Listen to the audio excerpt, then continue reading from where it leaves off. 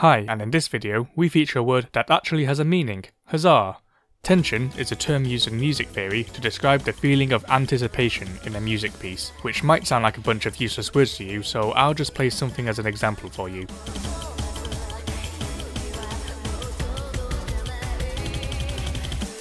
That build up in the music is tension at work. You can feel that the music is building up to some sort of climax, and that something is going to happen. That is tension. By the way, I've never studied music theory in my life, so what I'm saying might not be textbook accurate, but the concept is there, you should be able to work out what I'm talking about. Tension can occur in songs through repetition, a change in speed, or a change in pitch. Composers utilise tension in their songs to keep their listeners engaged to the song, and so the mapping should also do the same.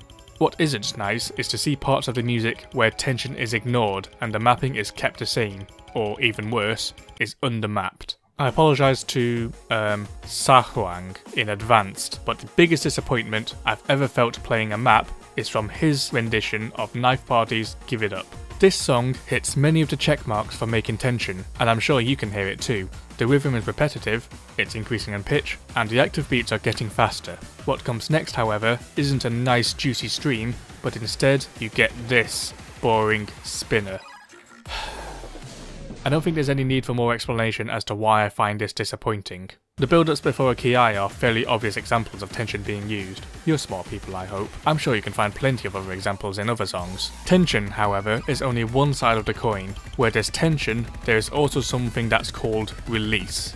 In some songs, you might call it the drop and it's basically when the music changes to let go of all the tension. If you imagine pulling a spring back to add tension, then releasing the spring lets go of all of that energy. So a good build-up of tension in the map helps to add extra emphasis on the release. Again, the build-up and the drop into a chorus is a pretty obvious example, and you already know how to spot those. However, tension and release can be used in more subtle areas of a song with more frequency. One of the most common patterns in higher level mapping is the triple, which is three circles consecutively placed usually in one 4 rhythm. Not to be confused with a triplet, which has a completely different meaning in music theory and is usually mapped like this. Digression aside, most of the triples land starting on red ticks and ending on the white ticks, including downbeats. Usually, these triples follow background sounds of the music rather than whatever is being prioritised in the song. So, why are they getting mapped? I already answered this earlier.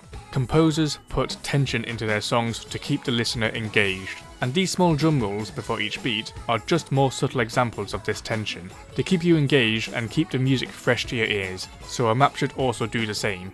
The constant build-up of tension and release keeps the map fresh for the player. Mapping tension is already straightforward if you're already mapping to the music. Repeated rhythms and dense rhythms that match with the music do just that, and mapping to the subtle build-ups and the tension in the background of a song can help emphasize the main layers. In certain situations, you can map tension by delaying beats or using a lower note density. On most maps, you're going to be playing with a constant stream of notes coming your way, so when there's all of a sudden no note to play, there's a build-up of tension as you anticipate the next note coming, or in some cases not. This is great for keeping the comment section of a song interesting, even if the mapping has gotten less intense. This also works for lower level difficulties, where insane difficulties would normally map tension with triples or streams, easy difficulties can use gaps in the rhythm, Extended 3-4 sliders are also an example of tension, as they work well to emphasize held beats by delaying the slider tail beat and adding tension with a faster rhythm at the end. You would usually anticipate the slider to end on the red tick, but by delaying it and creating tension, the release adds extra emphasis on the white tick afterwards. So, even though some rhythms either overmap or even undermap the main layer of a song, they help to create tension that's used to add even more emphasis to that main layer. A song is almost never just a single layer, and incorporating those other layers can help to make the main layer that much cooler. Now you can go ahead and be a tension seeker too.